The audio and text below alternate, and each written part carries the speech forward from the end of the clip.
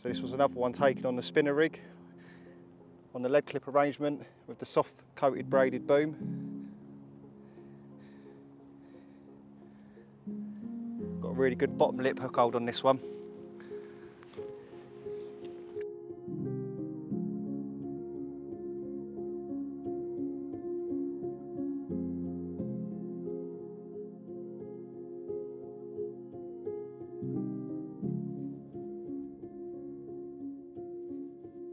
Well, what a lovely way to start to talk about pop-ups with a 30 pounder. Yeah. Pop-up. Yeah, no, it's a nice result this morning. It's nice, nice for you to be able to see one of the old ones from the wall pack as well. Yeah, I've heard a lot about them. So you're campaigning on here. You've Yep. been on here since, So I've been on the complex um, on and off for the last two years now. right, Um, but this particular, this is Lake 8, this this is Lake Eight, and I'm, I won't be, I won't be rejoining uh, come March. So I thought it'd be, you know, I'd, I'd invest a bit of time to fish it over the winter because there's a, you know there's a big carp in this lake, and it's it's well worth having in the album. Um, What's big? How big do you think it is right now?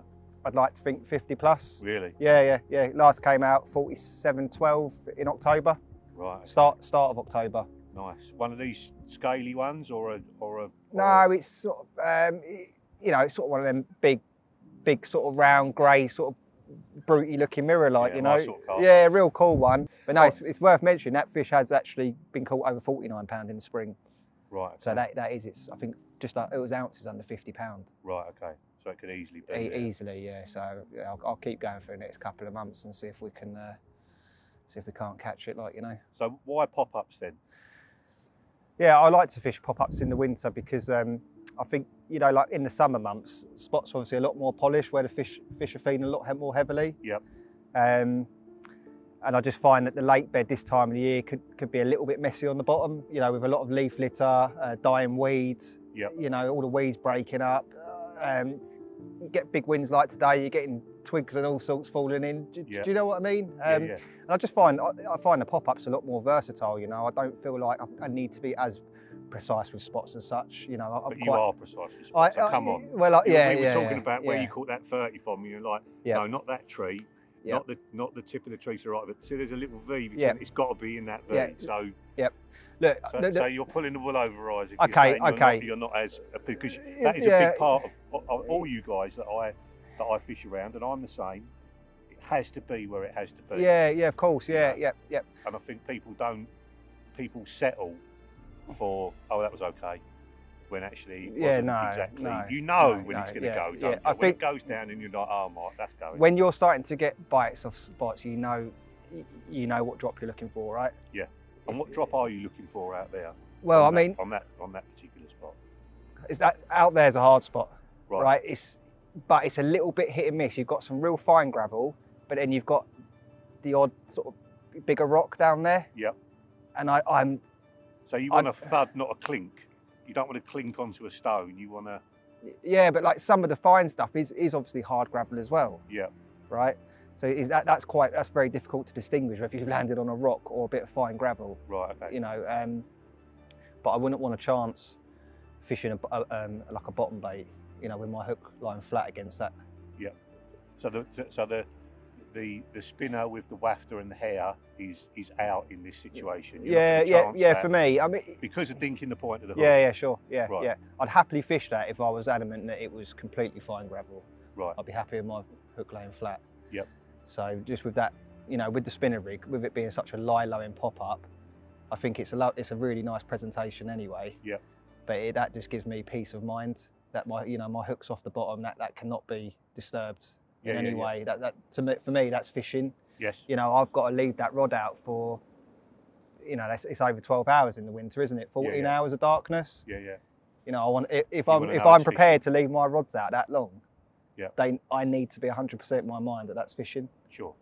And what about how the fish feed? Do you, do you think Well, this that, that they are, are they feed differently? They're a bit slower, yeah, uh, you know, and pop up suit that, or is that not in your? no, no, in your 100 thinking? 100 percent. No, that, that no, that is in my thinking. I I do think the I, I don't think the fish. May, maybe at times they could be more ravenous in the winter, but I think more often than not they're not. They're just picking, aren't they? Yeah, I think they'll come in on a bit of smell or, or whatever you've got out there, but are they actually hoover it, hoovering it all up? Yeah. Maybe, sometimes. Yeah. Well, But, if, but if they're not in much of a feeding mood, then I'd feel more confident that I, I could potentially get a pickup of, you know, a little, a little pop-up. bright pop up, Yep. rather than, you know, like something hard to the deck. Yeah, yeah, yeah. And you said the, the other key thing you said they're little. Yep. So you're using small hook Yeah. most of the time. 12, 12 mil pop ups all the time. Yeah. All the time. Yeah, yeah, yeah, yeah. Right. I mean, you know, up, up until um, the last few weeks, I had been catching on on 16 mil pop ups over spreads of boilies still. Right. You know, but when but I've, I've, found Was it that before that cold spell? it's before the cold spell. Yeah. Right. Okay. Yeah, yeah. And that, is that what made you change? That it, the water temperature went right down, Yeah, yeah, um, and they, they probably weren't feeding as hard. So yeah, yeah. Well, the other thing is as well, the, the, the bird life this time of year, that they're so hungry, aren't they? You, you Yes. get armies of tufties come on, and if, because I've been I've been trying to keep a little bit of bait going in times that I'm not here. I don't want a chance uh, that that being a waste of time because if that doesn't get fed on overnight, them tufties are in and they've they've mopped you up within minutes, haven't they? Yeah. So 20, 50 baits, whatever, can get demolished by the tufties a lot quicker than yeah. a load of little bits. Yeah, yeah, yeah. Because you're fishing these hook baits over crumb, crumb boiling. Yes, I'm still fishing the same boilie that I've been applying since October, since I've Yeah. come on here. Yeah. But I'm just like you say, I'm just crumbing it up. And a bit of corn I've seen you Little, yeah, a little well, bit of corn. maggots. Sweet corn's great, great in the winter. And Yeah. yeah, and yeah, a few not, but not going over the top with the maggots. Just it's Yeah. just sprinkling. Yes. You know. So, it, so a- feeding Just- trigger, but yeah. not something to become preoccupied on. Yeah, yeah. It just has a little di- different dimension to your bait, doesn't it? Yeah. Um, Oh, know, yeah, they love them, don't yeah, they? They yeah. love them. And I like the fact that you're not using them exclusively because I don't think, as a fishery owner, um, I don't think maggots used exclusively are good for lakes. I no, really don't. no. All they ever get is caught. They get no Yeah. nutritional value out of them. And I understand that people use them because it does switch the fish on. Yep. I totally get that. But using them as part of a mix where they're getting nutrition from the other bits, they're getting something Mhm. as well as getting a hook in them. And Yeah. I think we all got a moral responsibility to to keep them healthy. you Yeah, know what I for mean? sure. Keep them growing, and you Yeah. know they get Yeah. fed through the winter. They're in much better condition in the spring. You know. Yep. Um, all right, so let's let's have a look at the one because you've got two different ones out there, both spinners. So the first one we've got a soft coated material. Is that N-Trap soft? Yeah, that's the thirty pound. Right. Okay. Any reason you're using the heaviest one in breaking strain terms? I think it just adds a very slight element of. I mean, it's still very supple. Yep. But just gives it that you know a little bit more stiffness. Right. Okay. So it's it, it's it's stiff enough to not tangle, stiff enough That's to right, fall yeah. away, Yep. but not not so stiff that it's like a boom Is that- section. or yeah, whatever, exactly. Yeah, you yeah, know? yeah. Um, and length there probably eight inch, something like that. Yeah, I aim for about seven and a half. Seven and a half. I like seven and a half, Right. eight inches. Yeah. And why have you arrived at that length? I like it around that sort of length because, well, one when I'm casting, you could you can see the separation on flight. Whereas Yep. if it's too short, uh, I find that a little bit. You can't see if it's wrapped around the tubing or not. You- Yeah. You can see the two apart in Yep. the air. Yep. You know it's going out there untangled. So nice. Double splash on that. I'm also, you know, I'm not just fishing hard spots. I will be fishing into the silt as well. So that just gives me a little bit of reassurance that that that is sitting right out in the lake bed. So if the le- if the lead's gone into a bit of silt, That's there's right. enough hook link there to still be sitting on top of the substrate. Yep. If there's a little bit of weed out there, it can sit over the top of it. Yep. Bend up in the middle, as long as that hook bait is. Yep. Is the, the, the putty underneath the hook bait is sitting against the lake bed and the hook is standing up. Yep. Then it's still fishing. Yep. And what about the what about this double loop at the at the hook end? So you've got you've got a spinner swivel with a ring on, Mhm. and then you've tied, I guess, an overhand loop knot. Is Yeah, that? it's just an overhand knot. You, yeah. Yeah, you can do that in that material. Yeah, it's you? re- really strong. Yeah, it? yeah. Um, and that's got the, a big bit of putty moulded around Yep. it. Um, why, why that? Why that sort of double loop system there with it? Yeah, so I fish it. I fish it with the loop on the on the coated braid because I want that spinner to be able to rotate as freely as possible. Yep. I, I you know, I find because it's quite a soft loop, that may have a tendency to kind of snarl up round the loop. Yeah, yeah. Well, if it, if it's soft, it, it, like I've done there, it pulls flat, doesn't it? Yeah, that's right. So, yeah, So the swivel's not able to, to to move around on a circular loop like it would be on a stiffer yeah, material. yeah, exactly. That, Yeah. that, that's that's the only reason why for that. Right. And your your putty, there's a lot. Of, I mean, there must be buoyant pop-ups then. Yeah, they are they are very buoyant pop-ups for 12 millers. Um, And you, you, do you have that sinking fast? Do you have it sinking slow? I, I like it to sink reasonably fast. Yep. I don't want it to, you know, fall in a heap straight away. Yep. But I also don't want it to to fall down, you know, like a feather. Why is that?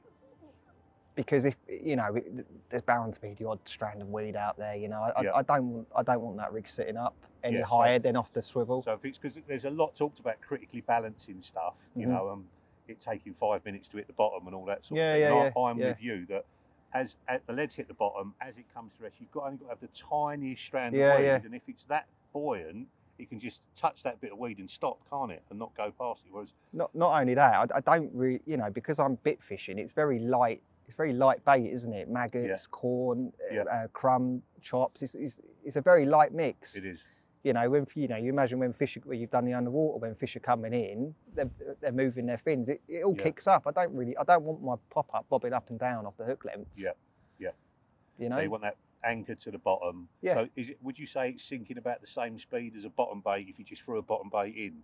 If you just threw a just threw a Um, single boilie in, is it hitting the deck at that same sort of speed or a little bit slower? maybe ever, ever so slightly slower. I'd, I'd Right. probably say. Right. If, you, if you're talking like a 16 miller. Yeah. Yeah. Yeah. Yeah.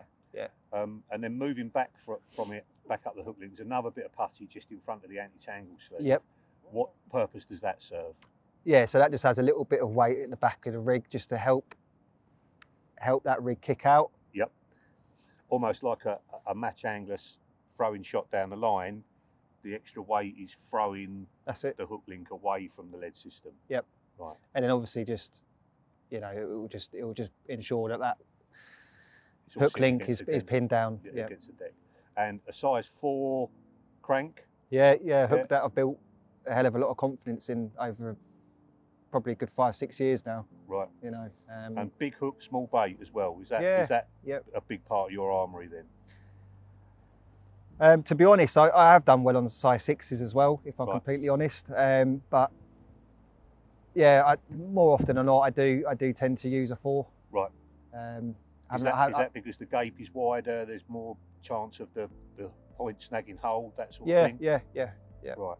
Um, and that's attached onto the spinner swivel and shrink tube over the top rather than white shrink tube and not a kicker. I just like the fact there's no movement whatsoever with that shrink tube. Right. You know, I don't, So I it's don't locked onto It's- there. it's locked the, on. The, the, the, the, the bend is retained. There's no way it's coming back off again. Mhm. And to change the hook, you're just cutting that shrink tube yeah, into bits, just snip it off, off, and snip it off with a pair of braid blades. It, it doesn't take much, you Yeah, know. It's quite, Sure. Um, and the, the point at where the, the boilie is exiting the hook, which to me looks like a roughly opposite barb, is that would you say it's about right? That's where the hook bead is? Yeah, I, I just I just like that hook bait just to be sitting just off the bend of the hook. Yep.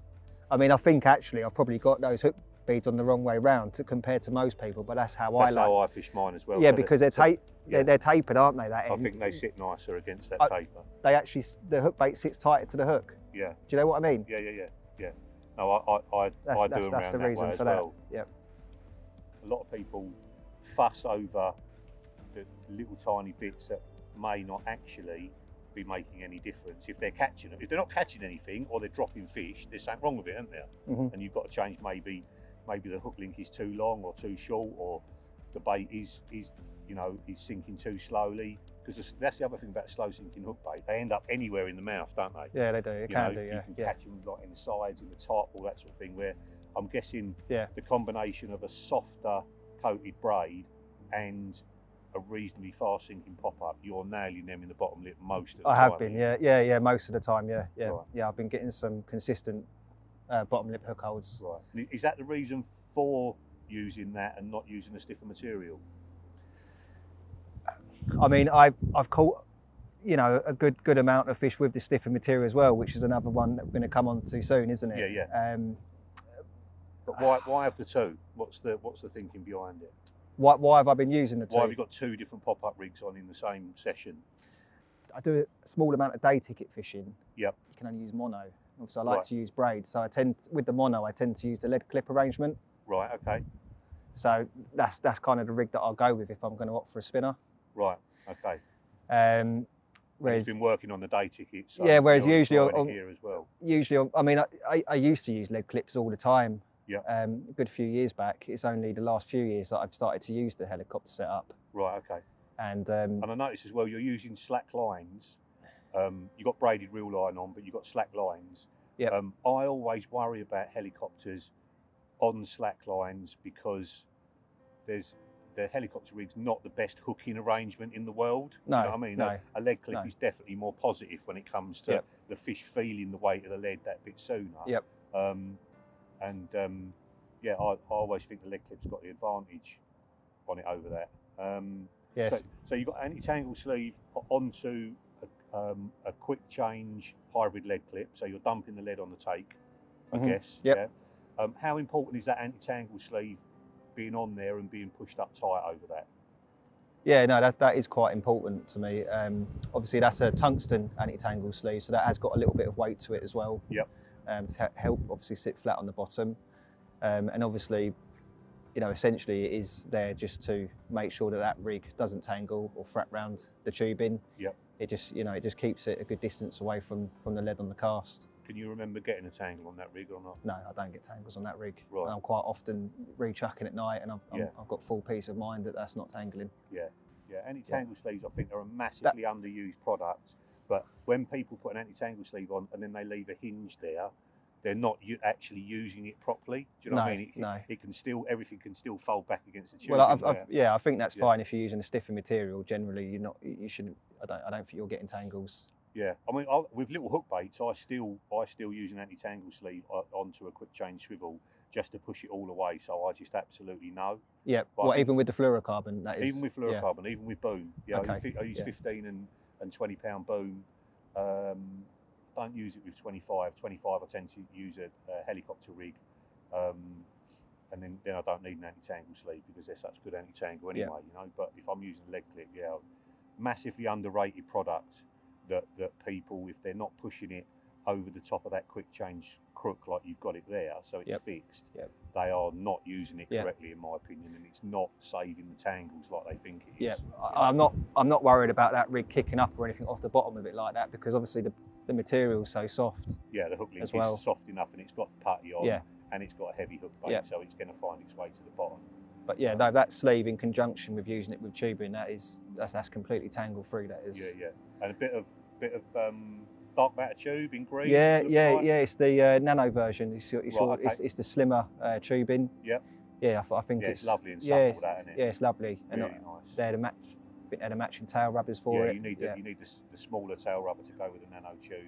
yeah um, so it's just a much neater setup. What are you? How much attention do you pay to camouflage? How much do you want this to blend in with what it's landing on out there? It's not something I, I overly worry about. I, I just, I, I just like to, I just like to think that it's all pinned down. Yes. Which you know how you've got that there. It's like wet spaghetti, isn't it? It is, mate, That's just going to follow Yeah. the contours, isn't it? And it's so heavy. So Heavy and supple, It doesn't. It doesn't put me off. I, I don't. I don't if, if I blank a night, I'm not going to blame it on on the rig tubing. Yeah, You know. Um, Yeah. Certainly not. Okay, all right, so that's that one. Let's put that down and then let's go over to the, the heli, heli version because you've been catching on this one as well. Yep. So we've got um, a naked heli system, um, uh, one of the mini heli safes on there for, for dumping the lead, still Yep. a heli lead as well. Yep. Um, it, the shape, what, what is it about the shape of those that makes you use them so much for this? The shape of these leads. Yeah, I think they're. I just think they're a good all rounder. Yeah. Um, they, they're quite good for you know when you need to give give it a bit of a punch out there. yeah. I know they're not they're not obviously real, real aerodynamic leads, but they They're nose heavy though, so they're, they're, very yeah they're, they're nose air. heavy. Yeah, the yeah, thing. They, yeah. don't, they don't wobble. Yep. You know, so they do they do go straight. They won't go as far as a tournament, but yeah, it ain't the biggest lake in the world, is it? And you've got decent rods and three and a half ounce leads. You, you'll get into all your spots. Yep. Easy. So so we've got your top bead on your um, on your naked system is a couple of inches up from the Yeah. from the lead, and you've got a line saver bead on there as well. I'm guessing the line saver is just to protect the line when you're playing the fish. Yeah. Yep. You Yep. use them all the time on on that sort of system where you've got a um, On the naked flu- fluoro, yeah, yeah, yeah. yeah, definitely, yeah, Right. yeah. Okay. Because Um, over time that will that will obviously wear wear the Yes. fluoro, that rubbing on the you know Yes. with, with the um, the ring of the swivel there. Yeah, the last thing you want is for it to go when it Yeah, you, do- you don't you don't want to be nicking it. No, no, definitely not. Um, and then hook link wise, again, we've got a spinner, we've got the same hook, size 4 crank, put on in the same way. Only one, there's no ring on the bottom of the spinner swivel.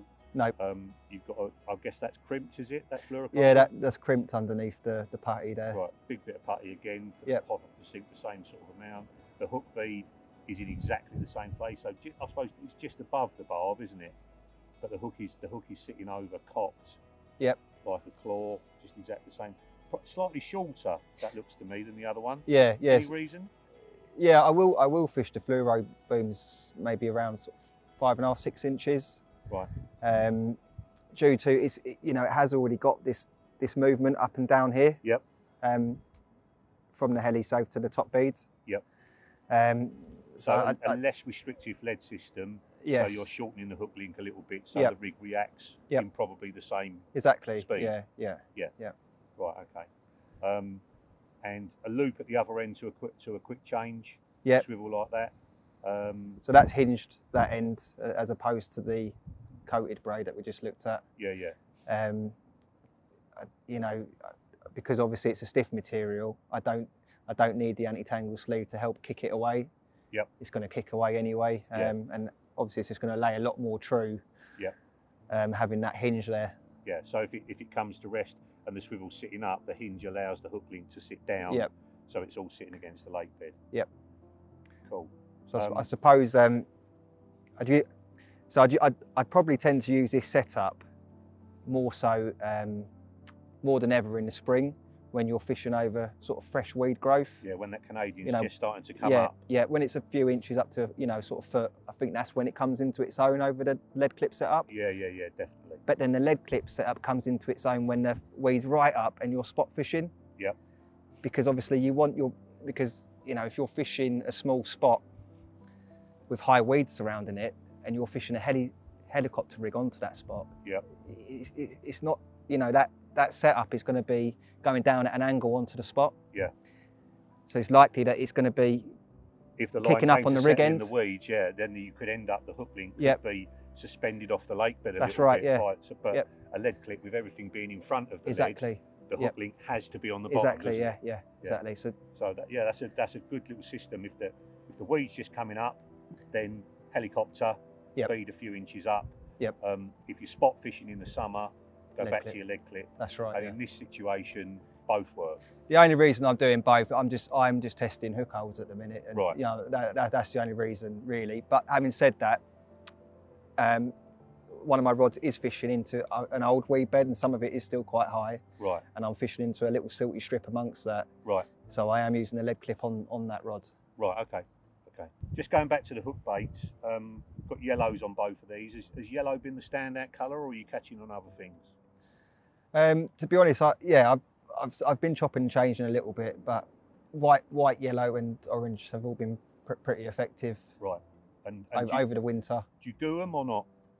Yeah, I mean, well, that one in your hand is that one's got um, pineapple goo on, on a white pop up. Right. Okay. Um, I do particularly like using the, the yellow goo on the white. I think Yep. once it's been in the water a little while, it just washes out to a sort of really dull, yeah. dull. it- It's it's quite a nice colour, Yeah, which yeah, I found to work quite well. And what about the isotonics, them sort of things? Have you used that one or not?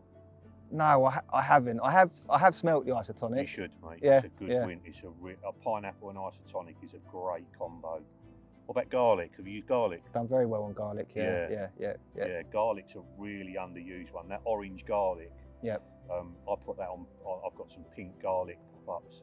I put the orange on them, and everywhere I've taken them, Yeah. that has that has done well. Um, Yeah, funnily enough, um, I did have a, a really nice thirty pound common um, in November. That was on a, an orange garlic. nice. Yeah, it was. Nice. Yeah, Yeah, it's really underused that, and it don't, doesn't smell pleasant, and I think that puts people off. In I think that people would get the goo bottles and they smell them in the shop, and if they like the smell of it, Yeah, no, I've done. Yeah, it. yeah, no, I've done very, very well with that, especially um, with, with, with zig fishing as well. You know, uh, garlic foam. Yeah. Oh, really? Yeah, done very right. well. I yeah, thought you were yeah. a squid man for your zig. I am. I like. I like to use the garlic. Um, sort of around Feb. You know, when I start using the zig, sort of back end of winter. Right. And, and you then- put, are you putting that on a black hook bait, on a black bit of foam, or are you putting it on Um, coloured bits? black and red or orange on its own. Done well on both. Right. Okay. Yeah, done very well on both. That's good to know. Ten- On, an, on another session, we need we need to go somewhere zig fishing together because it is not in my armory, and I know that in uh, in February, March, March's, April's gone by. Yeah, I no, definitely. Let, us face I've it. No, no, no one I- no one really likes it, do they? I, No. I'd rather not be catching them that way, but sometimes it, it, it, It's the only way, it's the only way, really. Yeah, it is. especially yeah, on these yeah. lakes like here where you've got 10, 12, 14 foot. Yep. There, when that sun first comes out. there- Yeah, yeah, there- I- know at Embryo Stanton, I know I missed out a couple of springs ago where I persevered with bait, and I did Yeah. catch them, but a mobile angler who was good at zigs would have caught a lot Yeah. more than me. It's when you hear people say, "Oh, it's fish terrible this spring," like no one's having nothing. You know, no one's digging Yeah, yeah, yeah, because if they were, it'd be it'd be a complete different result. yeah. Yeah, well, look what happened at Dinton for you. That was, Ah, that was yeah. unbelievable, wasn't Yeah, yeah, yeah, yeah. You know. yeah. Um, but it's like first person to do a tactic that they haven't been clumped on before. Yeah, I'm not. I'm not saying I was the first person. It's definitely been done in the past, you know. But it, it had it kind of got forgotten about, and no one was doing it when I came on. Yeah, yeah, yeah. yeah And I remember my first spring on there. It was it was tricky fishing, and no one was doing it. And I thought, well, it's something I'll give a go next spring because I Yeah. kind of got nothing to lose. Yeah, I wouldn't yeah, say I was a competency angler then. I didn't really Right, do really? it. I, would, I didn't really do it too often. Right, okay. I done it as a young. That's brave, doing it on there, mate. Well, it, it was a challenging spring, and I thought I, I may, may as well take a gamble, do something completely different. It felt like it felt like the logical thing to do, and, and Yeah. I think second trip I, I caught the first one, and it kind of went from there yeah, really. nice. No, we definitely need to do that. But for, for now, um, I think you've got to refresh all the rods, haven't you, for tonight? Yes, yeah, Um, yeah. Get some more bait out and what have you. I'll carry on spectating on number seven. okay, mate. And uh, no, thanks for that, mate. I think um, that, that that information for people that want to winter fish and Yeah. pop up fish generally, that pretty much covers it.